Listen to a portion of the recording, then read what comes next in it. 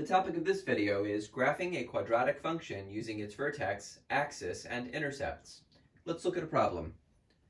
For the quadratic function f of x equals x squared plus 22x, find the intercepts, vertex, create the graph, the domain and range, and the intervals of increasing, decreasing, and constant.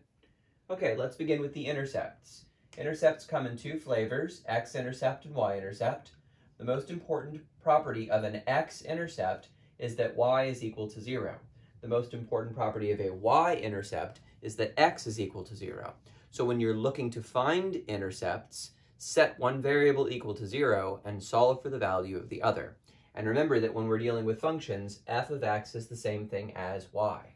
So let's look for x-intercepts. We replace y with 0. So we replace this f of x with 0, and we get 0 equals x squared plus 22x. This is a quadratic equation.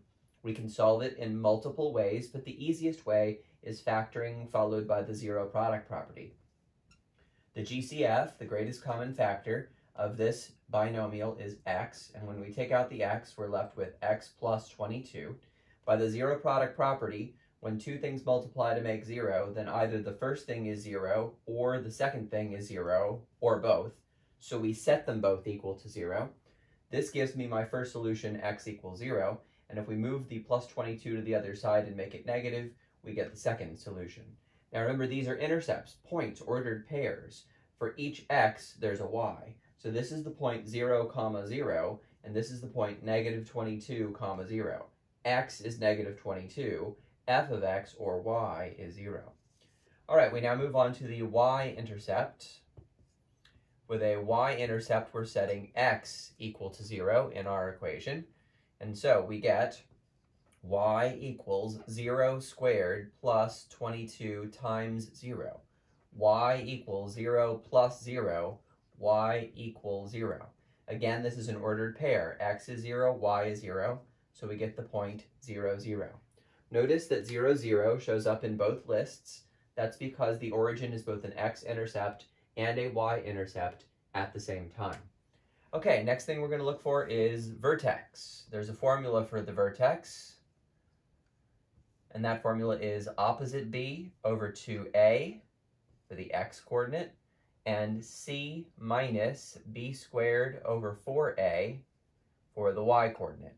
Or if you prefer, you could ignore this formula completely for the y-coordinate, find x using the x-coordinate portion of the formula, plug into your equation to find y. It's your choice. Either way is fine. Sometimes one way is better, sometimes the other. All right, for our particular problem, we need to identify the coefficients a, b, and c. And we look up here at our function definition, which is x squared plus 22x. Now, this x squared doesn't have a number written, but there is a hidden, understood 1 as the coefficient. And even though there is no constant term here, there's a hidden, understood, plus 0. And from this, we learn that a equals 1, b equals positive 22, c equals 0.